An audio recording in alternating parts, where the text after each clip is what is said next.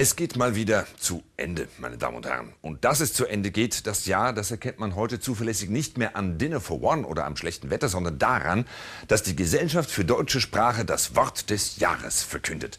Nach langen Debatten, ausufernden Diskussionen unter Aufbietung der letzten Ressourcen haben sie es wieder gestemmt. Das Wort des Jahres 2010 lautet Wutbürger. Eine gute Wahl. Ein blödes Wort.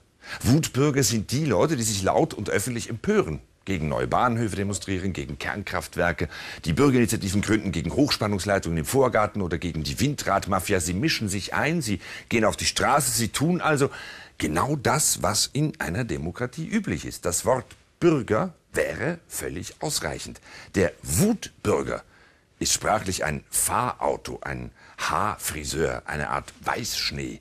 Und es spricht nicht gerade für die schlauen Bürger bei der Gesellschaft der deutschen Sprache, wenn sie kein Deutsch mehr können. Ein Falschfehler. Gut, kann passieren, kann mal vorkommen. Neues Jahr, neues Wort. Bis dahin, liebe Seebürger draußen an den Geräten, wünsche ich Ihnen als Ansagebürger hier drinnen schöne Feierfeste.